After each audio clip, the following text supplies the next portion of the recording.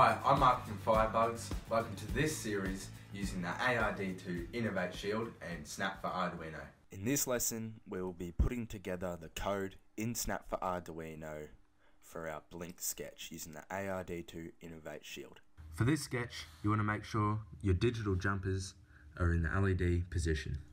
The first thing that we're going to want to do is just grab the when clicked block out of the control library. We don't have to use the when clicked block. We can use a key pressed block so we can press a key on the keyboard. But for this one, we're just going to use the when clicked block to make it simple.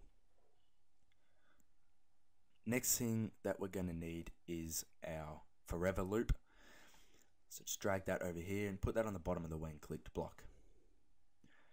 The next thing you'll need is the wait block and if you head over to the Arduino library up here you're also going to need the set digital pin block right here. Come up to this library here and go down and grab the true and false block here and you can drag that into the uh, set digital pin block like this. Now you can type a value in the set digital pin block just like this. So the value that we're going to use, we're going to be setting digital pin 13.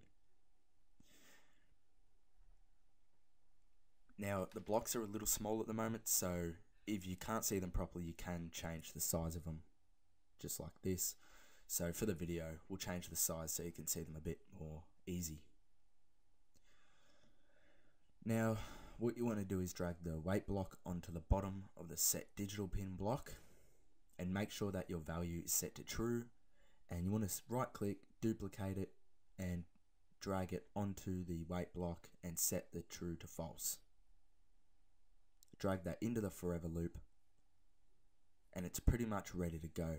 Come over to the Arduino library connect Arduino make sure your board with the ARD2 INNOV8 Shield is plugged in connected happy prototyping we're ready to go. Now that is most of the code right there. That will cause pin 13 on your ARD2 INNOV8 Shield to blink just like so.